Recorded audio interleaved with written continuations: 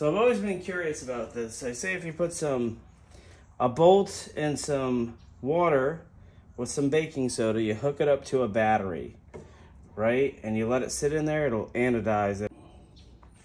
All right, so for my ground, I just took a little piece of sheet metal, welded it. I'm gonna, I, I just ended this to the wire. This little piece, I'm gonna push it on here to the negative. It says put the negative in here.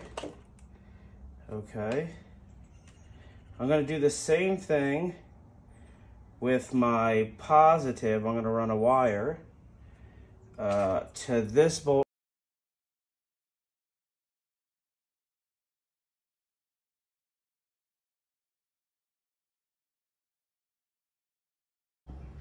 So now they say add distilled water.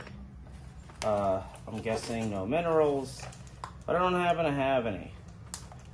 I do have some baking soda. So I'm adding some baking soda. Don't really know how much to add.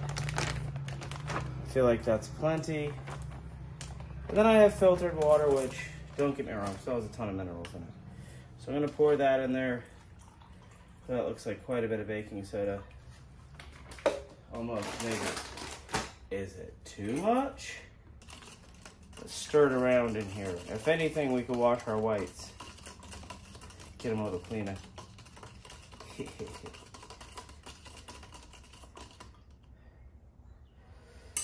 okay, so I'm gonna take this thing, stick this in there. And then I have my nut, and here's the power. So I guess I'll stick this on here.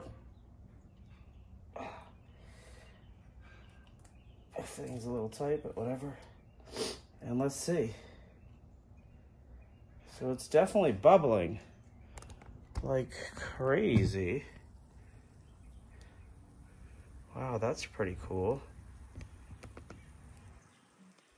see if I can get you guys a better vantage point here.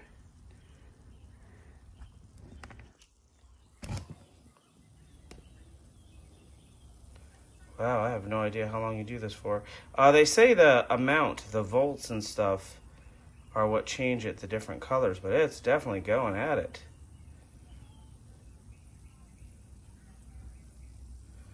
Wow.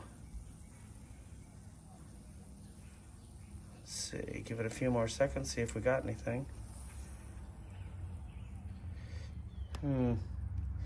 Uh, I could see it kind of getting there. Let's keep it going.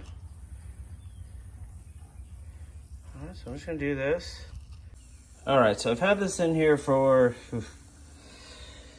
several minutes now. Um, I don't know if I should leave it in longer or I'm wondering if I add multiple of these batteries. Uh, I have stronger ones, if that would make a difference. But um, let's take it out and wipe it down and just see how it looks compared to the original bolt here. I just hold it in my hands. But you can see it's a little darker, right? I don't really have a bluish color. I don't really see blue too, too much. But that could be because of the amount of electricity. All right, so I've taken two batteries now, hooked them up to this bolt, both grounds connecting in. I'm going to, I think I'm going to stir the baking powder or baking soda, I mean, a little bit here. Baking powder. Looks like a lot of it settled to the bottom. I don't know if that makes a big difference, but we're going to find out. Then we take this bad boy, just zoom back here, uh, dip her in here. Whew. Definitely getting some reactions now. Um, I was still getting them before, don't get me wrong. Okay, so, as you see, right there, let's give it a few minutes.